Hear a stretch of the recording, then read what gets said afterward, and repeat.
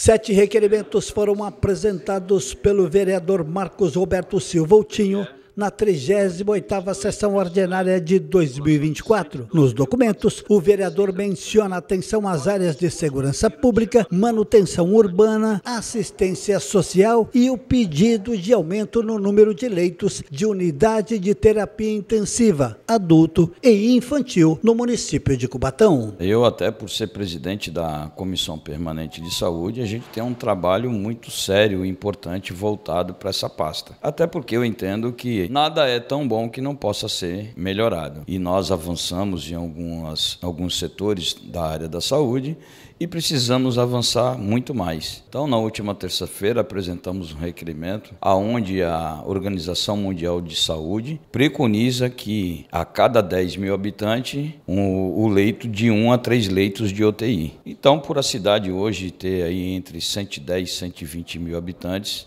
nós temos essa defasagem e precisamos avançar. Até recentemente tivemos alguns problemas de pessoas esperando leito de UTI, mais de, de, de 10 pessoas.